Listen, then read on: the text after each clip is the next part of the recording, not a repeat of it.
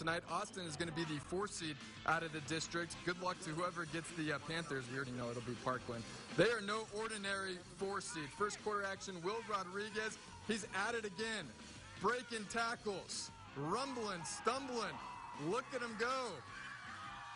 I think just about every Jefferson defender had a shot at tackling him, and he would not be denied. That's why he's one of the best in the city. Panthers up 7 0. Uh, Austin also proven they can throw the ball around a little bit as well. Irving uh, going to go up top to Miguel Vasquez. 80 yards on this connection to put Austin up 14 nothing. And if some is good, I always say it, more is better. Vasquez back in there at quarterback, and uh, I should say Cortina's back in there at quarterback, and he's going to find Vasquez for the score just before the end of the half as Austin wins big 47 to 6. The final again, Panthers.